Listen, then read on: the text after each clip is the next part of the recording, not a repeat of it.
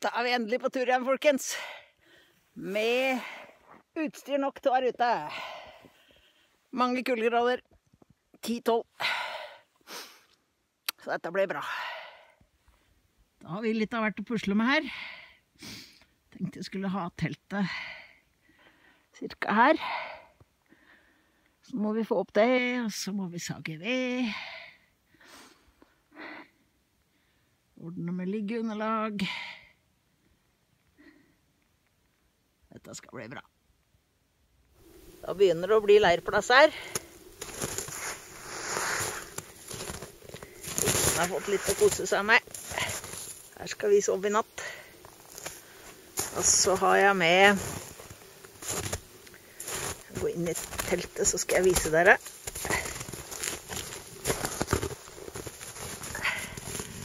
Her har jeg den beste soveposen min. Helsport. Dunpose. Den liker jeg veldig godt. Så har jeg med fjellduken. Og så har jeg oppblåsbart liggeunderlag. Og så et sånt gammelt under. Og nå skal vi sage ved og prøve å fiske. Og ja, sage ved og gjøre klart til bål. Får vi oss noe varmt i skrotten. Må vi jo sette ut noen fiskesnører, da. Fintleieren min ligger der oppe. Sola skinner og Jeg driver og setter ut litt isstikker, da. Her er skyggen min.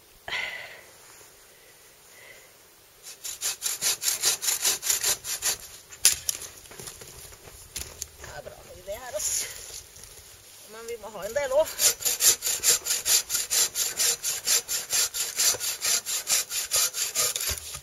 Trenger en del ved. Skal vi kose oss ved et svært bål i kveld. Det blir deilig. Så skal vi være her lenge, så det er håp om å få fisk, da. Vi får håpe. Åh, det lukter så deilig av Tyri.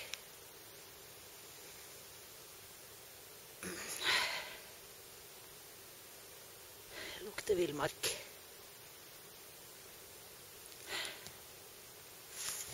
Nå begynner vedhaugen å øke. Og det er bra. For nå er sola på vei ned.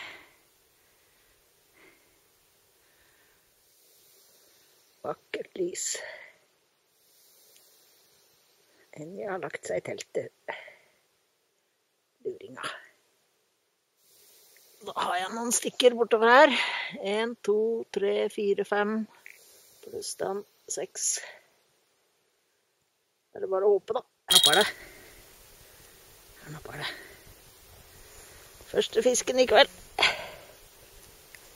Ha, den, den hang ikke godt. Herlig. Da har vi fått en fisk. Yes!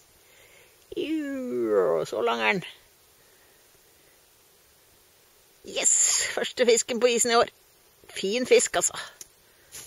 Og jeg fikk en fisk første kvelden. Den er fin, den her, da. Feit og fin. Yeah! Røv og fin er han nå. Har du sett? Da blir det stekt fisk.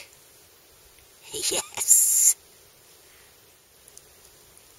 Sitter jeg og koser meg ved bålet, da. Deilig å ha en spark og fisk har jeg fått, da. Yeah!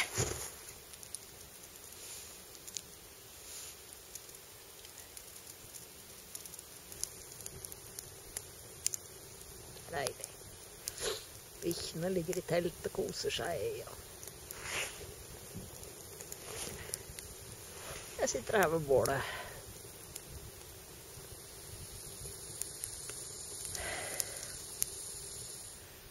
Månen er på vei opp der, altså.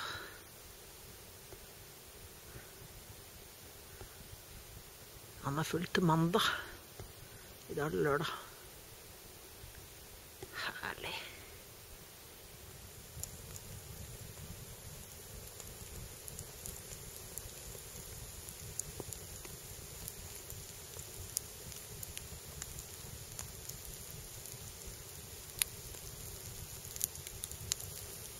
Der brenner det så vakkert og lekkert.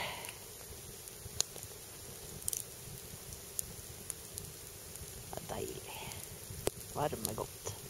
Fint i bål.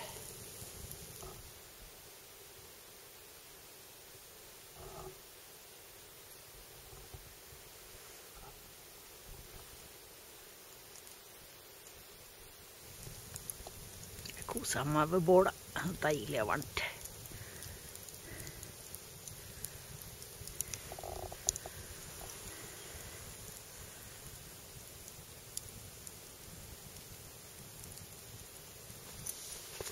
Sånn, ja.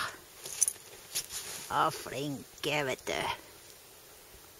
Så flinke. God morgen, alle sammen. Det er en ny dag. Jeg sover godt i natt. Jeg tror jeg rett og slett må prioritere å finne noe ved. Jeg har satt ut eh, fem stykker. De står jo der og fisker, de. Så må jeg prioritere litt ved, så blir det tur etterpå. Det er kaldt. Det er kaldt.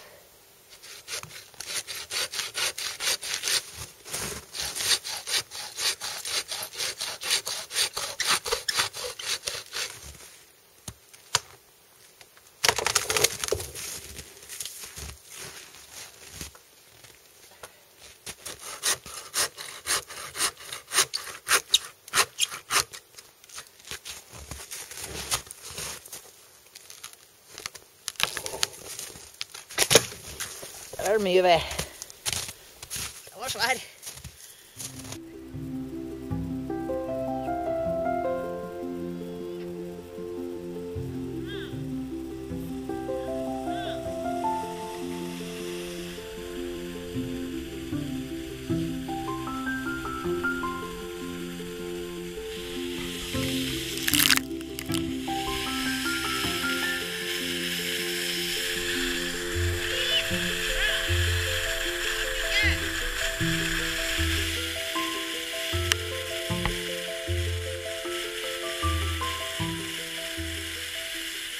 Det er noe å gjøre hele tida.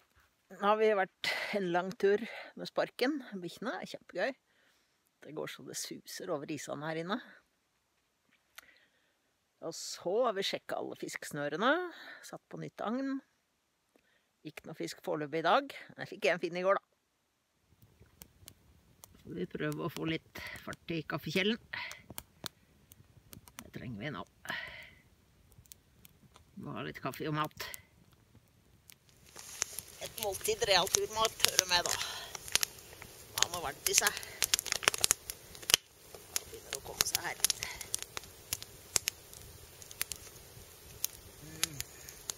Godt å få i seg noe varmt, altså.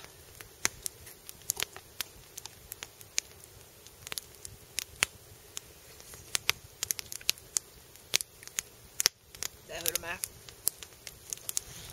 Da sitter jeg her og koser meg ved bålet igjen i kveld. Ikke noe fisk i dag. Et napp. Det var det. En fin fisk i går, da.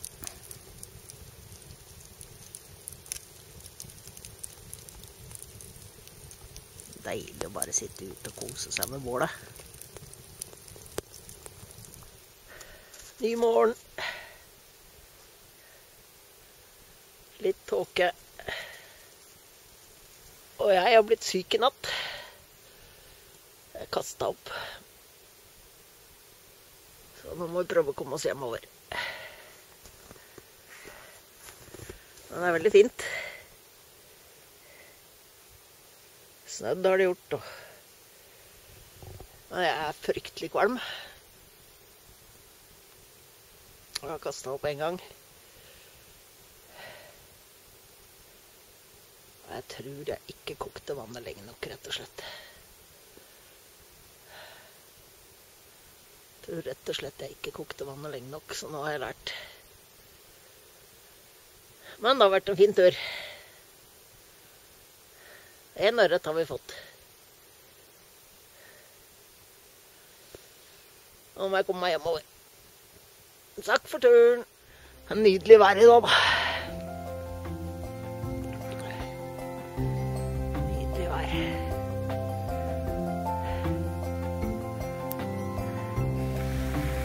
Ja, hjelper meg, de bikkjene i dag, altså. Hjelp meg veldig. Veldig. Ja, herlig. Ja, dere er flinke. Ja, dere er flinke. Ja, dere er flinke.